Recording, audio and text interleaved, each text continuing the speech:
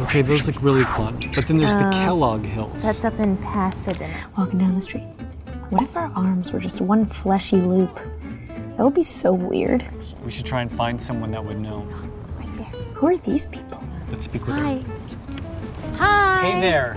So sorry, we're actually visiting from Canada and we're Yeah. a bit lost. Yeah, uh, would it be too much to ask you for directions? No.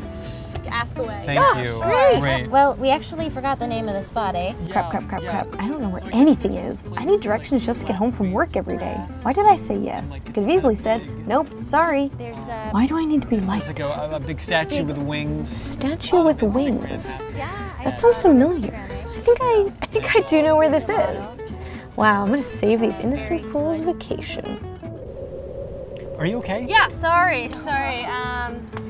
Yeah. I totally. I totally know where that is. Actually. Oh, yeah. great. So you're Great. gonna go ten blocks straight. Okay. You're gonna go four blocks. Four blocks left. And then three blocks right, and it's gonna be. It's gonna be right there. Oh, wonderful. Okay, Yeah. so. Okay, great. Yeah. Have fun. Have fun in America. Thank you. Crazy Canadians. Thank you. Wait, that statue doesn't have wings. Oh no, I gave them the wrong directions. They're gonna be so lost, wandering for days. Maybe I can fix this.